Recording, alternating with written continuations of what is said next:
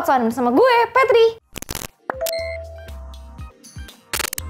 Akhirnya, Free Fire Master League Season 4 semakin mendekati minggu final. Kemarin baru saja menyelesaikan hari ke-9 dan ke-10-nya. Memasuki minggu kelima, persaingan antara tim divisi 1 semakin sengit karena final FML semakin dekat.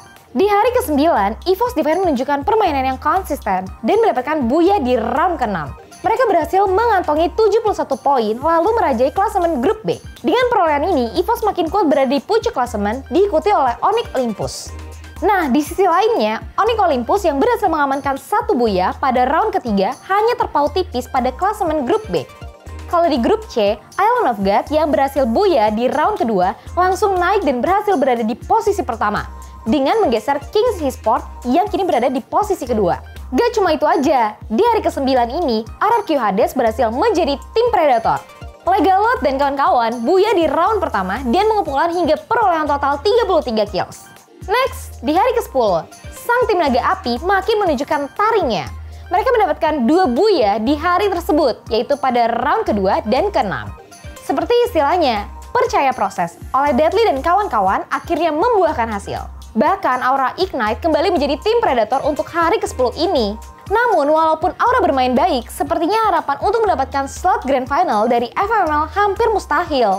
Karena masih ada saudara eSport dan Bonafide yang nyaman berada di puncak klasemen grup A. Di grup B, EVOS dan Onyx justru semakin memperkuat posisinya di klasemen grup.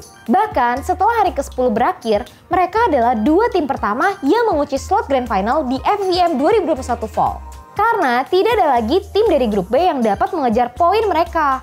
Meskipun masih ada satu match lagi di grup B, Tentunya, permainan minggu selanjutnya merupakan kesempatan terakhir bagi para tim untuk mengumpulkan poin di FML Season 4. Untuk grup A dan grup C, masih banyak kemungkinan-kemungkinan yang akan terjadi.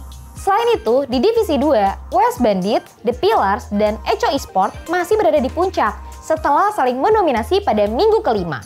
Wah, tiap minggunya FML Season 4 semakin panas aja nih ya guys. Gak terasa, minggu depan udah minggu terakhir guys. Tiap tim harus tancap gas nih mengumpulkan poin sebanyak-banyaknya. Nah, menurut kalian, tim mana nih yang akan mendapatkan slot Grand Final FFVM 2021 Fall? Coba dong tulis pendapat kalian di kolom komentar.